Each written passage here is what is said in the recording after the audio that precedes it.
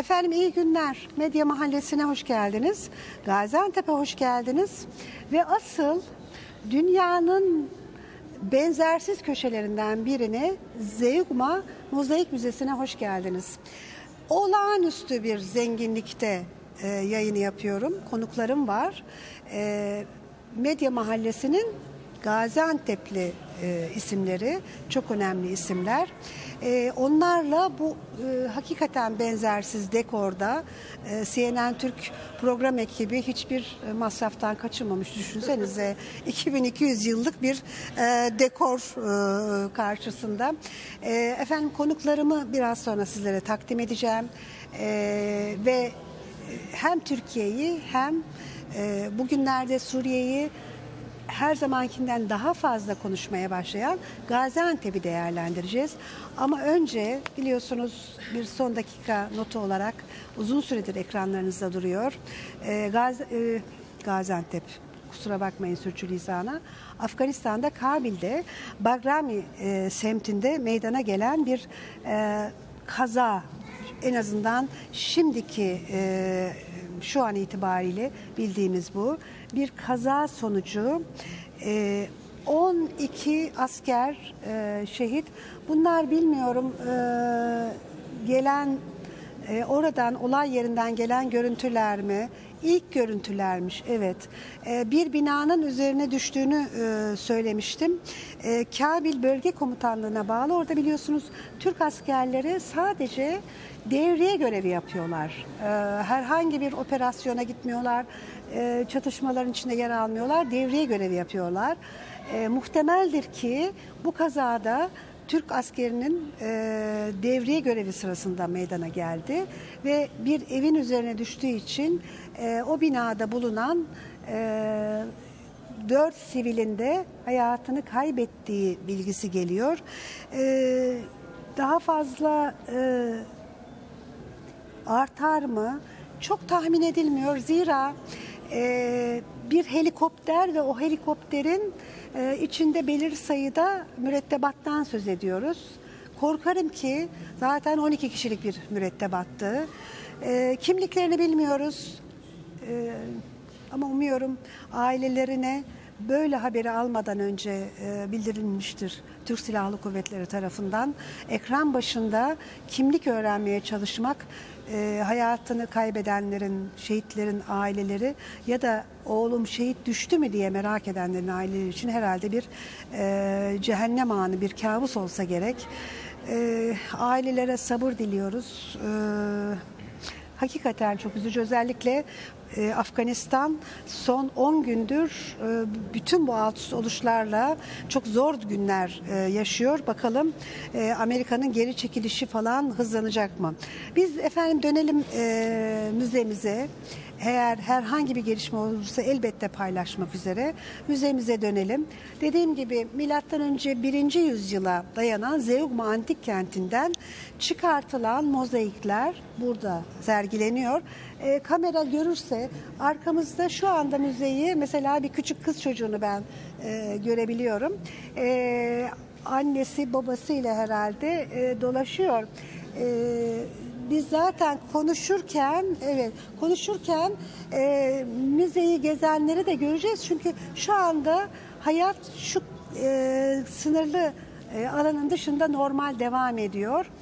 E, size şunu da göstereceğim ve böyle başlayacağız. Zeugma e, dünyanın bildiği bir antik kent.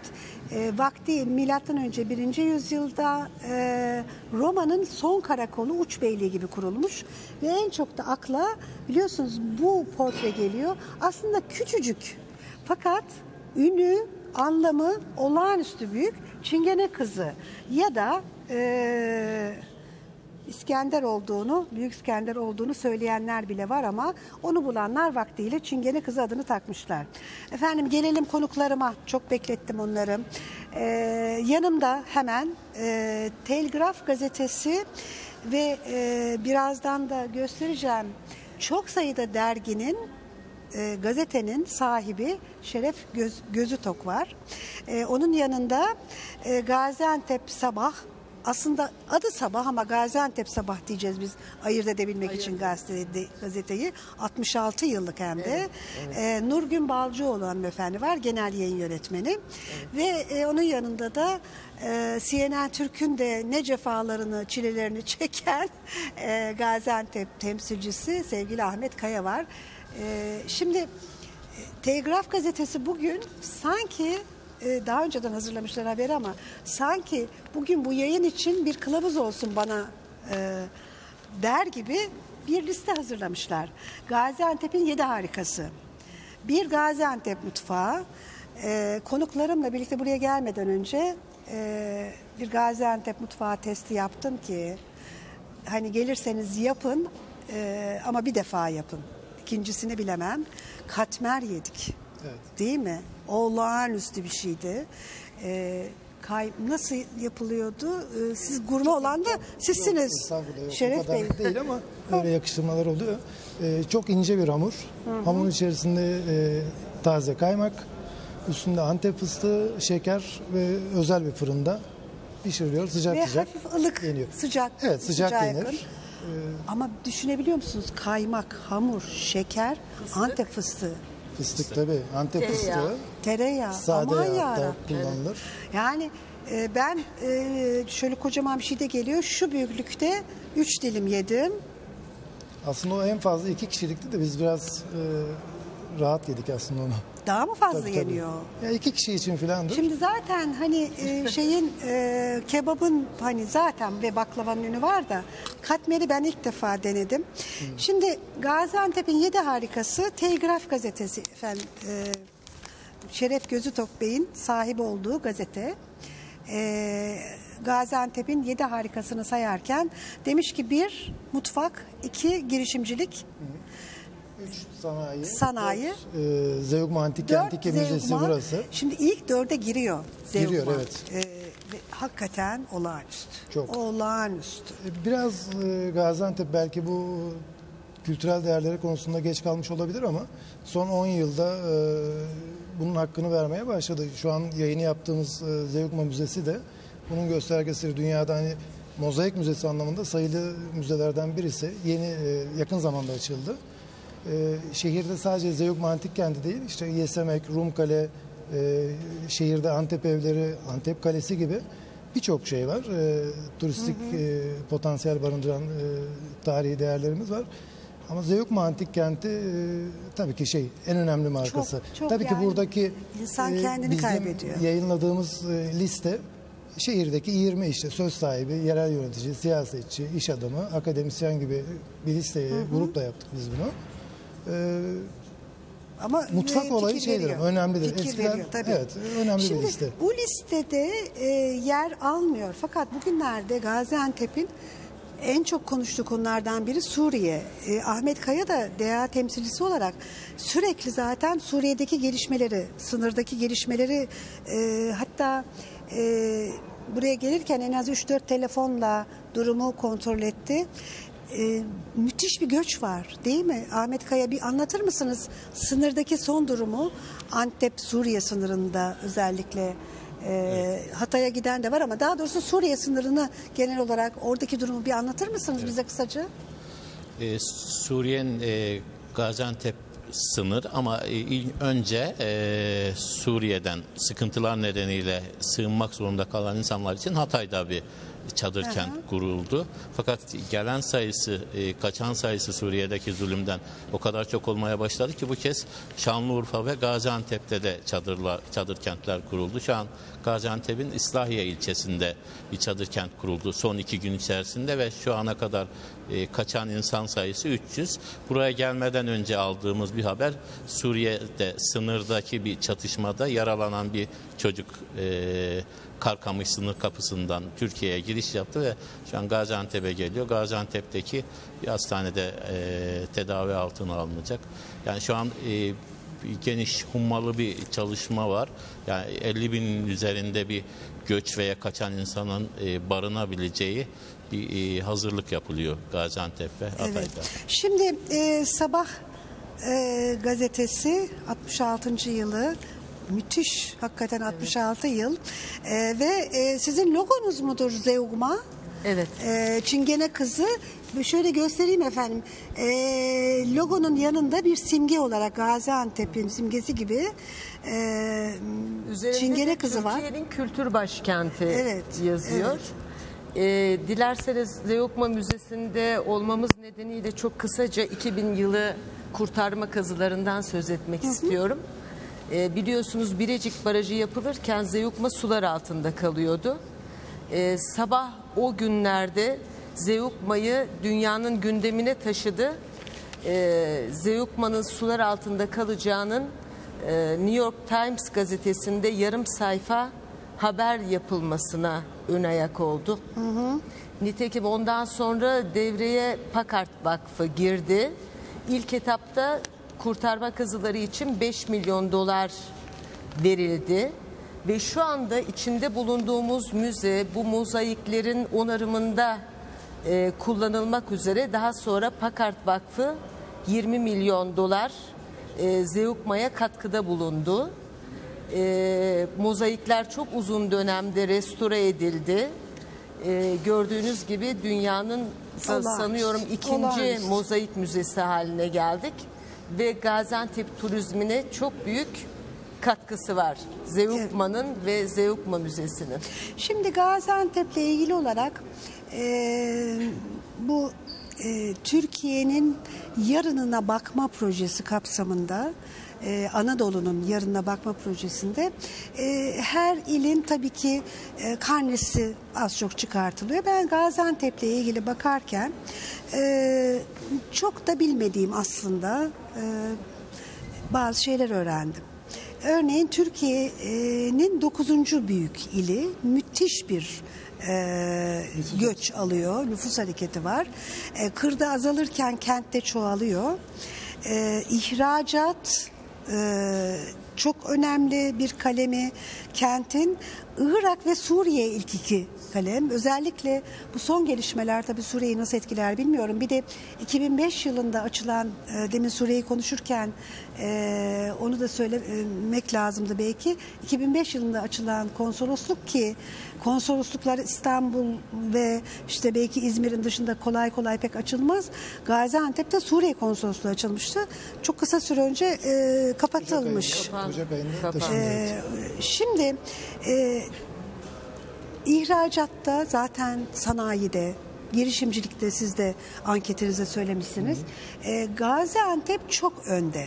Fakat eğitim alanında çok e, geride. Hatta üniversiteye giriş eğer baz alınırsa kategori olarak bunu konuşursak 80. sırada hani 81 il olduğunu düşünürsek de zaten Şırnak geçti sadece. yani çok hazin bir durum. Ara ara değişiyor aslında ama 50 ile Herhalde. 80 arasında ki yani daha önce verdiğiniz hani nüfusta işte 9. E, ihracatta 6. bir il için yani en azından eğitimde de bu aralıkta olması beklenir. Yani 80 değil belki 50'ye düşüyor bazen ama 50'nin Gene üstüne bile çıkamıyor evet çıkamıyor. Peki siz eğitimi bugün mesela baş, e, manşetlerden biri yapmışsınız. Ee, niye böyle? Yani neden eğitimde bu kadar?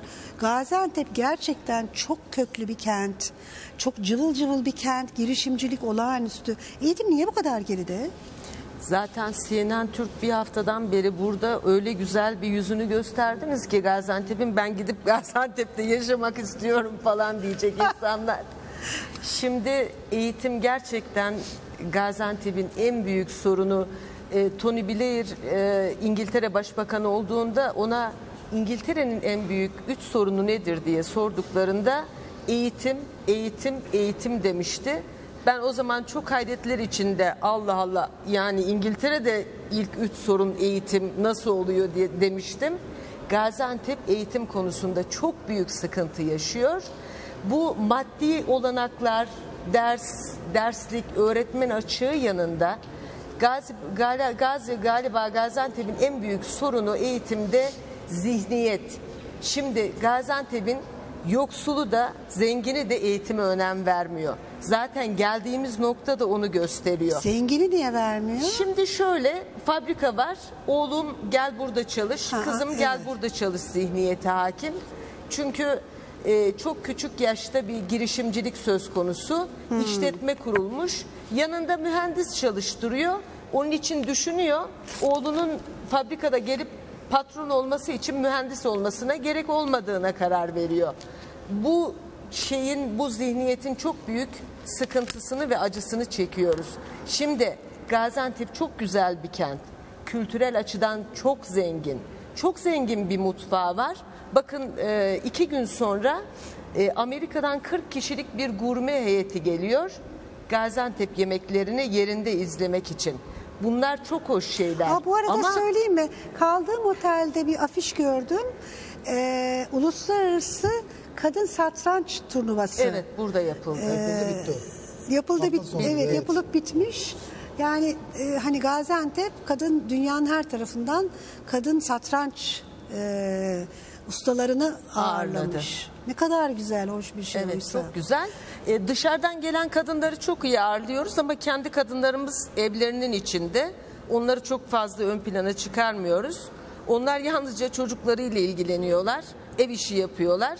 Kadın Gaziantep'te ikinci hatta üçüncü planda. Hiç ön planda değil. Ee, işte iki gün önce yine sizin programlarınızın birinde bir hanımefendi söyledi. Biz evlerde yaşıyoruz, ev işleriyle uğraşıyoruz. Babası eğitimci olduğu halde eğitimine önem verilmemiş. Yani e, bi- bir yanda e, 5 milyon dolar e, ihracatı olan zenginlikten söz edilen bir kent 5 milyar dolar. 5 milyar dolar, Diğer tabii. yanda hızla yoksulluğun arttığı, eğitimin kalitesinin ve seviyesinin düştüğü, insanların giderek azim. yoksullaştığı Şimdi bir kent. Girişimcilik meselesi hani kimisi yoksulluktan ve belki bilinç yoksunluğundan e, yanı sıra eğitim ikinci plana atıyor olabilir. Bir de girişimcilikten söz etti Gülnur Hanım. E, Şeref Bey siz e, girişimciler için, e, iş adamları için e, böyle müthiş kaliteli dergiler çıkartıyorsunuz. Bu Mors, e, bir de Boss var patron anlamında. E, başka dergileriniz de var sizin e, zannediyorum Gaziantep'te Gazeteler- Yaşam gibi değil mi? Gazetelerimiz var evet. Ee, şimdi dolayısıyla siz sanayicinin, girişimcinin nabzını tutuyorsunuz.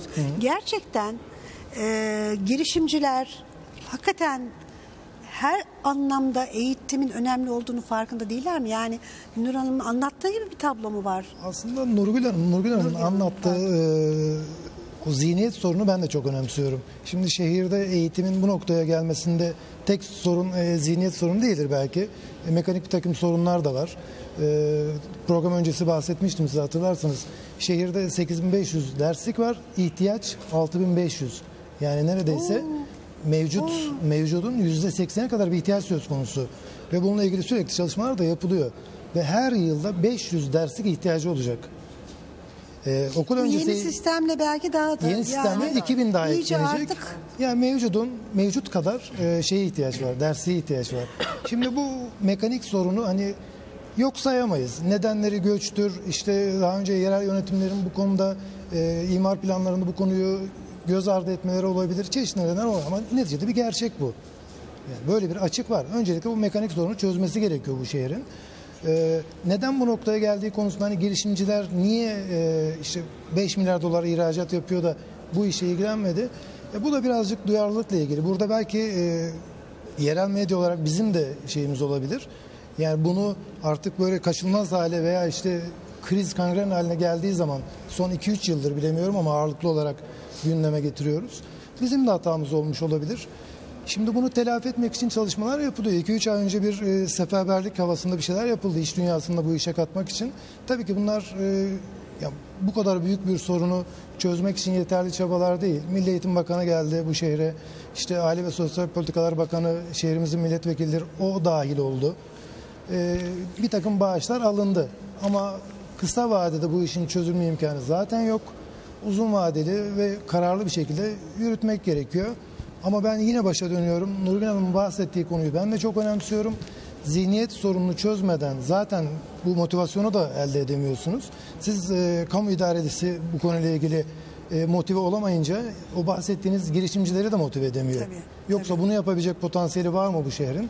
E tabii ki var. Yani E, olmalı. bu kadar imkansızlıkların içerisinde 5 milyar dolar ihracat yapabilen bir şehir yani herhalde o iradeyi de ortaya koyacaktır diye düşünüyorum. Ee, şimdi e, biz İstanbul'da Türkiye'ye genel olarak bakmak durumundayız. Aslında e, bütün bu söyledikleriniz Türkiye'nin genel e, tablosuna uyan e, kareler. E, o bir e, Türkiye'de bir mozaik sır tıpkı buradaki mozaikler gibi e, Gaziantep'te o mozaiği tamamlayan e, bütünleyen bir parça gibi. Ama merak ettim bayağı da e, Ahmet Kaya e, 19 günlük 30 haftalık gazete 6 da yerel televizyon varmış. Şimdi 15'te radyo. radyolar var tabii. Şimdi e, bütün bu Türkiye fotoğrafına bakmakla e, bu kadar gazete şey çıkacak hali yok.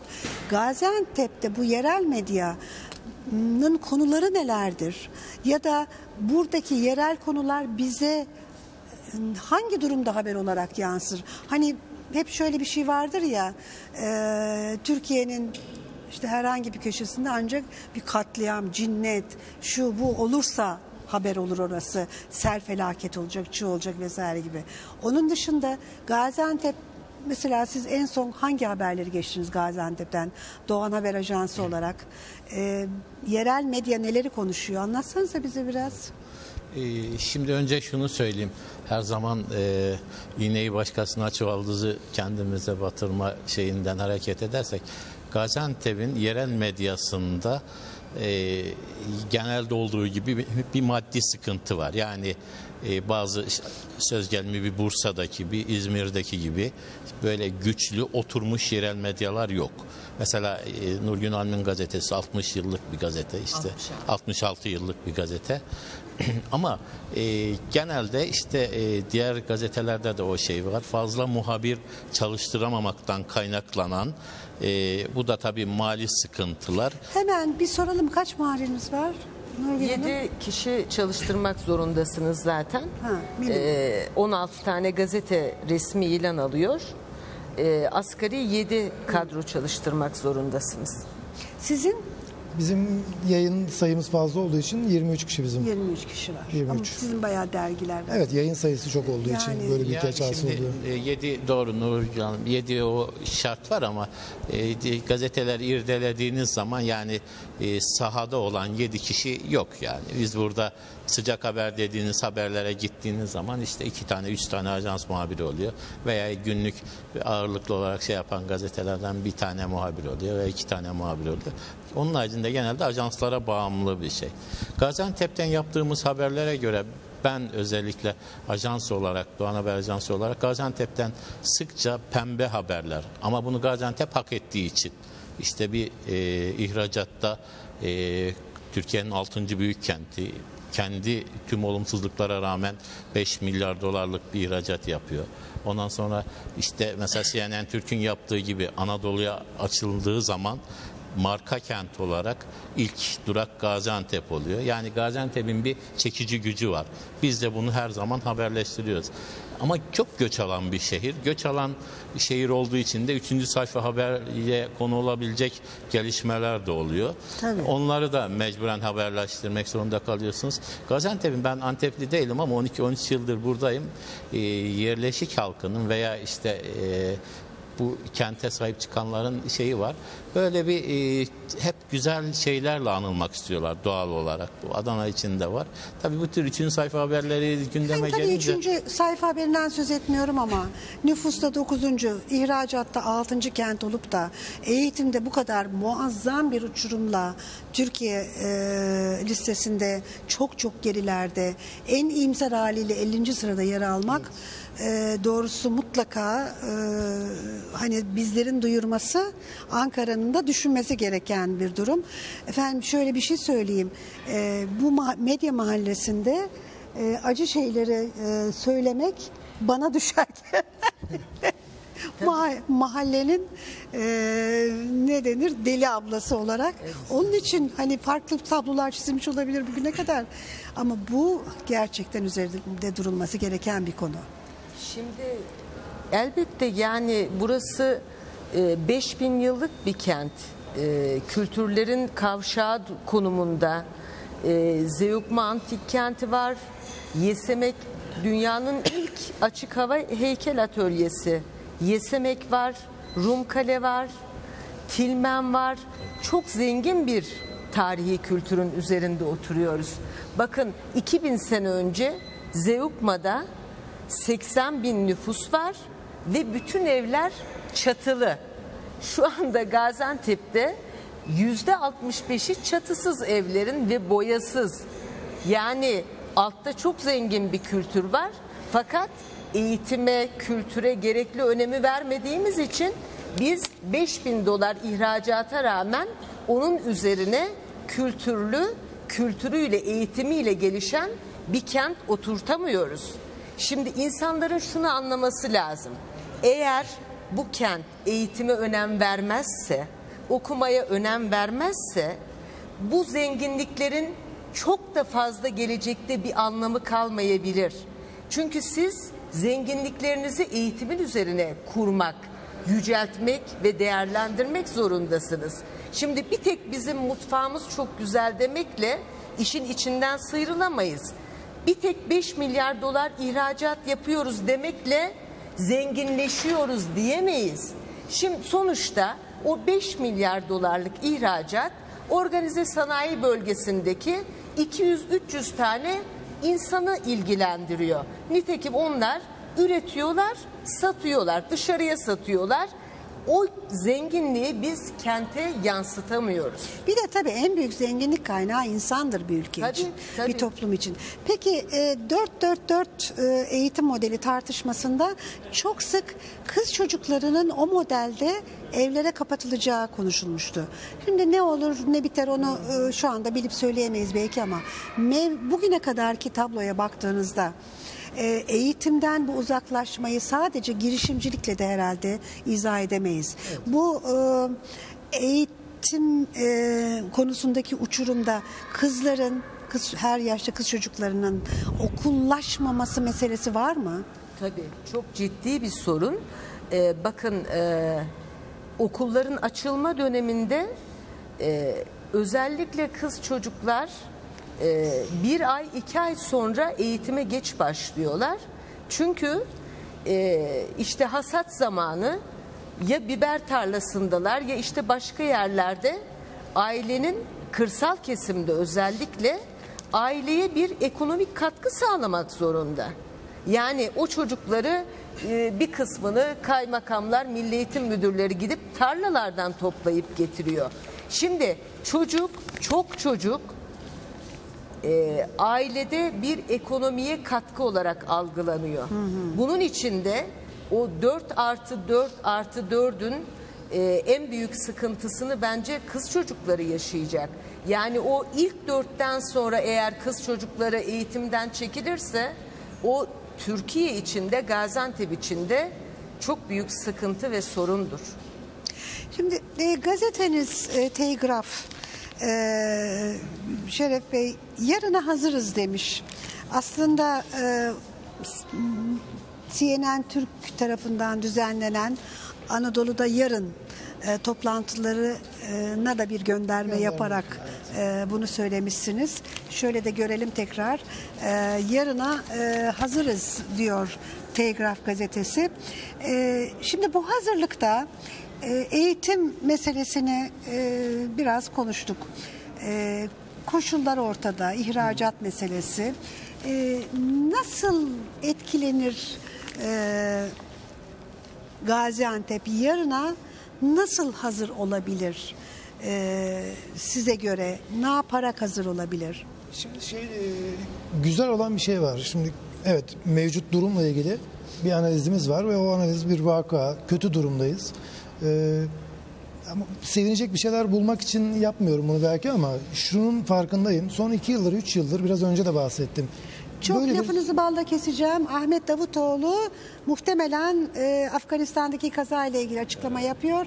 Bir kulak verelim döneceğiz. Acımız büyüktür. Tabii bütün Türk Silahlı Kuvvetlerime diliyorum. Ee, onlara e, başsağlığı, taziyelerimi sunuyorum. Ee, kazanın oluş nedeniyle ilgili çalışmalar sürüyor. E, askeri personelimizle ilgili detaylı bilgiler Genelkurmay Başkanlığımızla da e, Genelkurmay Başkanlığımızca bildirilecek. Tekrar Allah rahmet eylesin diyorum. Başsağlığı diliyorum.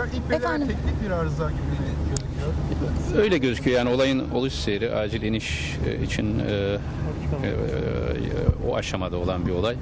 Ama tabii nihai değerlendirme yapılacak ama ilk intiba o şekilde görünüyor. Bir yetkilinin açıklamasına göre. Evet yani düştüğü mahal düştüğü mahal itibariyle biliyorsunuz bir evin bir, bir, bir, bir evin üzerine düştü. Onu da kurtarmak için muhtemelen çok ciddi çaba sarf etti helikopter pilotumuz. Yani olayın oluş seri ve e, düştüğü mahal böyle bir intiba veriyor. Ancak tabii e, Genelkurmay Başkanlığımız, oradaki komutanlık e, yetkililerimiz biliyorsunuz Kabil'in bütün güvenlik komutası Türk Silahlı Kuvvetleri'ndeydi, bizim yetkimizdeydi. Onların nihai değerlendirmesini, raporunu alacağız. E, çok büyük bir acıdır. Allah rahmet eylesin ama an- Suriye onlar Genelkurmay Başkanlığımız açıklamış.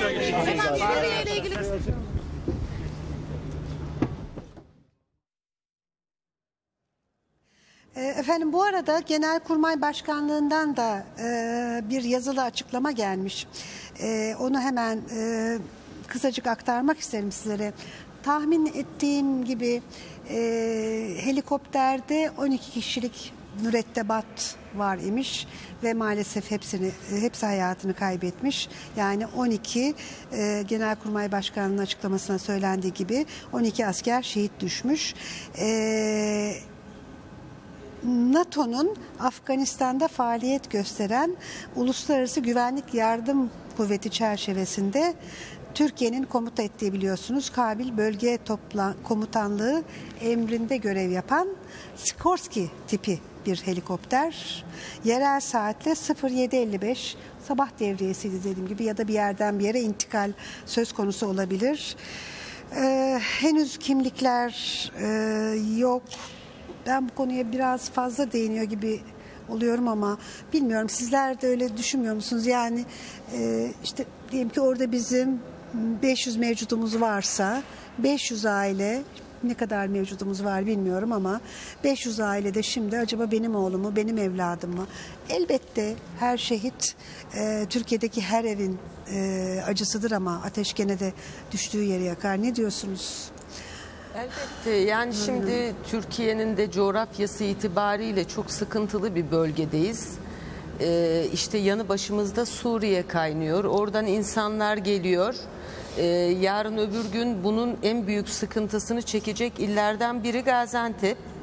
İşte Afganistan'da askerler şehit oluyor. İşte Güneydoğu'da olaylar Her şey, sürüyor. her şey, tabii. Ee, sorunlu Çok bir evet. bölgedeyiz. Maalesef bu bizim şanssızlığımız olsa gerek. Ee, Şeref Bey, e, buradan bir devam etmek istiyorum. Şimdi Suriye'ye ne kadar e, Gaziantep'in e, ihracatı ve nasıl etkilendi mi? Tabii tabii çok etkilendi. Öyle Şimdi mi? Suriye ile ilişkilerde şöyle bir süreç yaşandı. Ee, bir dönem mesafeli halkların ilişki içerisinde olduğu bir dönemdi. Orada işte iki taraf halkları özellikle Gaziantep'in iyi ilişkide bulunduğu Suriye'nin üçüncü büyük şehri Halep'le Gaziantep halkının veya işte girişimcilerinin karşılıklı şeyleriyle bir şey potansiyel vardı.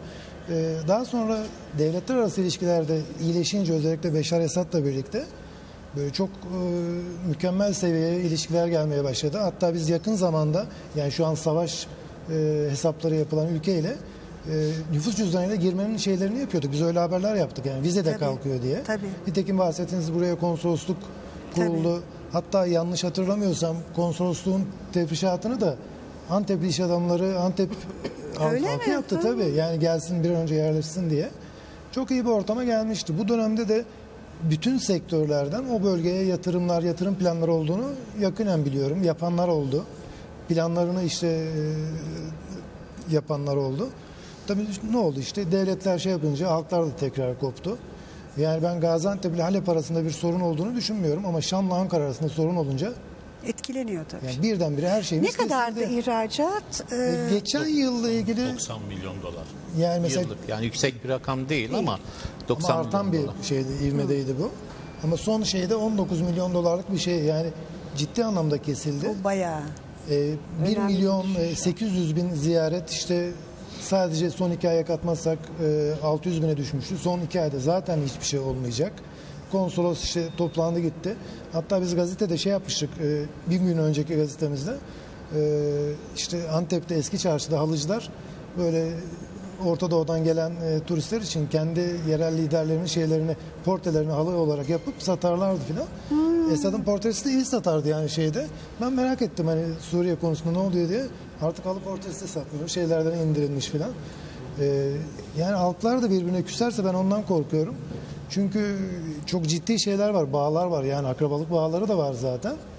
Ee, şehirde şimdi oradan buraya bir e, turist en azından veya e, kalabalık geliyor diye bir takım yatırım yapanlar oldu burada. Ya, şeye gidip Halep'e gidip ki ağırlıklı olarak Halep'tir bizim ilgi alanımız yakın şehir olduğu için, sanayi şehri olduğu için Suriye'nin. Orada işte iş yeri olanlar oldu, yatırım yapanlar oldu. Biraz Şimdi sıkıntı olacak yani. Birazdan hepinize de sormak istiyorum.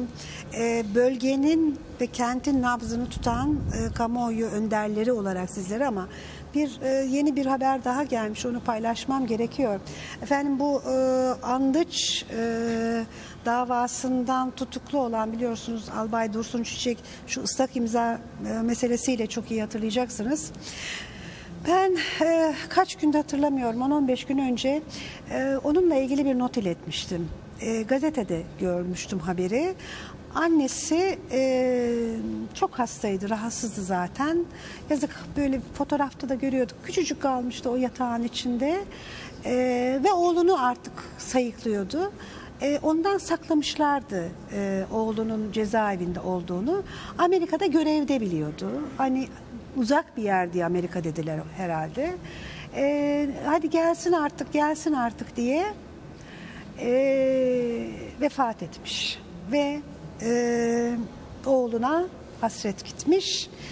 E, Dursun Çiçek için de şimdi annesinin cenazesine katılması için e, izin çıkmış. Gecikmiş ama gene de iyi. Ben bugüne daha fazla devam edersem e, yapmamam gereken bir şey yapacağım. Onun için bunu burada keseyim hemen Ahmet Kaya'ya döneyim. Bir e, savaş e, çanları çalınıyor deniyor.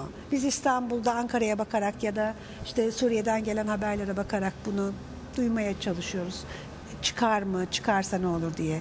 Size göre nasıl çalıyor? Gaziantep'te nasıl duyuluyor o çan sesleri? Öncelikle Kabil'deki e, acı kayıptan dolayı şehitlerimiz, şehitlerimize rahmet diliyorum. Türk milletinin başı sağ olsun. E, Gaziantep bence bu çanların en yüksek sesle hissedileceği illerden birisi. Öyle mi? Şey, şöyle, Gaziantep'in e, ihracat olarak Suriye'ye yıllık 90 milyon dolarlık bir ihracat var. Yani toplam ihracatın %2'sine tekabül ediyor.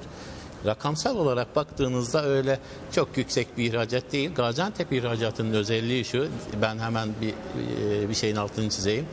Kriz döneminde bile Gaziantep ihracatı, Türkiye'de ihracat bir duraksama dönemine girmesine rağmen Gaziantep ihracatı arttı. Niye arttı?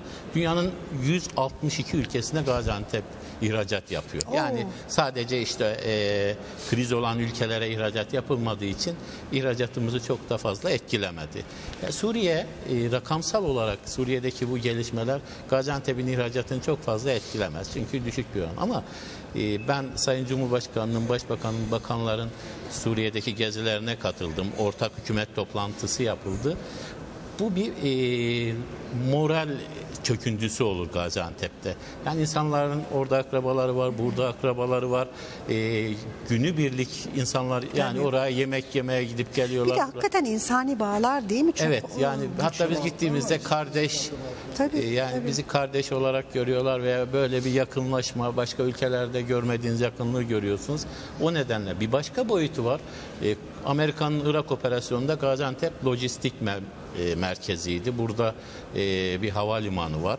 Yani hava yollu bir operasyon, bir destek şey yapılırsa Gaziantep merkez olacak. O yönüyle Gaziantep biraz daha e, şey olacak Çan gibi görünüyor. Evet. Ee, üç dakikamız kalmış. Üç, üç buçuk. Size de son olarak bunu sorayım. Ee, Nurgün Hanım, hakikaten böyle bir sizde tahmininiz var mı? Yani bir Suriye müdahale olacak gibi mi? Ne düşünüyorsunuz? Ben kesinlikle olacağını düşünüyorum ve Türkiye'ye de bu konuda etkin bir rol biçildiği kanısındayım. biz olayların içinde bulacağız kendimizi. Öyle burada. Ee, şimdi tabii sıfır sorunlu komşularla ilişkiler noktasından e, sorunsuz e, komşuluk ilişkilerine sorunsuz komşu kalmadığı bir ortama geldik. E, Suriye ile e, hep ihracat söyleniyor ama bence daha da önemlisi sınır ticareti var. Şimdi her gün binlerce yüzlerce insan Suriye'ye gidiyor oradan çay şeker bilmem ne işte e, yüklenip geliyor burada satıyor onu bir geçim e, şeyi olarak görüyor. Şimdi bu ilişkiler bitmiş durumda. İkincisi Karkamış antik kenti var Suriye sınırında. E, orası kazıldığı zaman e, Türkiye'de arkeoloji tarihinin değişeceğinden söz ediliyor. E, oranın kazılması da belki bu süreçte e, sıkıntıya uğrayacak. Yani çok ciddi olayların içindeyiz. Ekonomik, insani, Tabii, tabii, diplo- tabii. her, Her anlamda. boyutuyla. Ne diyorsunuz? Ben de çok iyimser değilim bu konuda. Öyle mi? Ee, maalesef değilim. Ee, şuna üzülüyorum. Ee, şu anki potansiyelini Gaziantep Suriyeli olan potansiyelini yani hükümet Pardon devlet şunu soracağım. Ne konuda aslında. imser değilsiniz? Yani Savaş e, çıkacak beklentisi. Evet. var yani ciddi Evet, ciddi. evet. Yani, acaba o konuda mı yoksa hani savaş çıkarsa e, kötü etkileri hayır yani siz bir kere peşin peşin diyorsunuz ki Yok yani şey neticede olacak. fotoğraftan öyle sonuç Anladım. çıkarıyorum ben. Ama böyle bir şey olursa yazık olacak şeye bu bölgeye. Çünkü Evet. e, yani Irak Savaşı ile Körfez Savaşı'nda çok büyük bedel ödedi. Şimdi İstanbul'dan, dışarıdan, Avrupa'dan, Amerika'dan bakınca haritada işte nerede savaş var? Irak'ta, Gaziantep burası. Aman ha filan deyip mesafeli bir yaklaşım söz konusuydu o dönemlerde. Ben ondan endişe ediyorum. Yani Suriye ile ilgili bir sıkıntı olduğu zaman işte Gaziantep evet Suriye ile ilgili şeyi çok büyük potansiyel değil. 90 milyon dolar 500 e, 5 milyar dolar bir potansiyel önemli bir şey değil. Giderse gitsin. Bu şehir onu e, kompanse edecek bir şey zaten bulacaktır. Tabii. Ya ben her şeye rağmen 5,5 milyar 6 milyar dolar bu sene yapacağına inanıyorum. Ama şöyle bir şey olacak. O diğer Avrupa ülkelerine Amerika yapacağı ihracatta oralarla bağında Suriye'de savaşın olabilme ihtimalinin olduğu Evet, şehre komşu evet. bir şehirden bahsedecek. Yani gelmekten imtina edeceklerini düşünüyorum ben.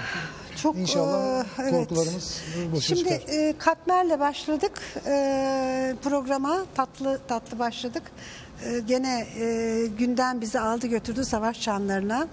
Ama e, gene biz e, tatlı tatlı veda edelim. Gaziantep'ten. Çok teşekkürler e, katıldığınız için. E, Gaziantep'i her anlamda paylaştığımızı tabii süremiz el verdiğince düşünüyorum. Efendim reklamlardan sonra vedalaşmak üzere.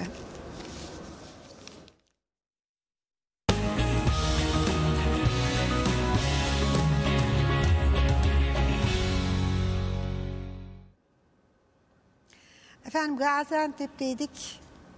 Ee, CNN Türk'ün organize ettiği Anadolu'da Yarın e, toplantılarında son program bana nasip oldu.